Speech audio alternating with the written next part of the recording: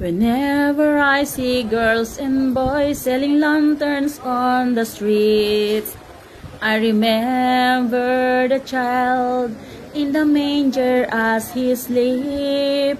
Wherever there are people giving gifts, exchanging cards, I believe that Christmas is truly in their hearts. Let's light our Christmas trees for a bright tomorrow where nations are at peace and all are one in God. Let's sing Merry Christmas and a happy holiday. These seasons may we never forget the love we have for Jesus.